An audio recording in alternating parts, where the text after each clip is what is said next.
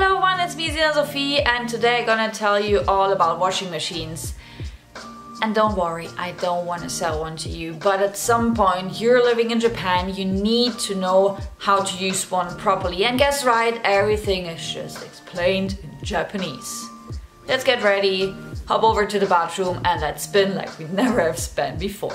So here we are. Of course, first you need to get the washing detergent your clothes, throwing them into the washing machine, open the bottle of detergent, close the door and now let's get to the basics. So the first button would be of course the power button which is showing you the on and off. There is the start and pause button, course button, the standard washing, the room dry, an option for washing your blankets which is kind of cool, one time rinse, washing in your own style, elaborate, the fast dry, the tank cleaning, the tank dry and basically the button to show you that the lid is blocked.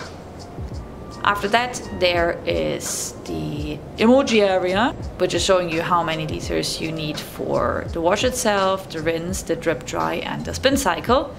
And other buttons are the water volume, which is showing you how much water it needs for your wash. Next to that there is the reservation button and the bath water button, but I never tried those so I really can't tell you how that works. The second option would be, which is so much easier, you just switch on the washing machine and then you just hit the start button and after that the washing machine is just calculating how much water it needs and then it's just showing you the different options of wash, rinse, drip, dry and spin cycle. You see in the upper left area how much time the washing machine actually needs. Now you're well prepared and let's get back to the headquarter.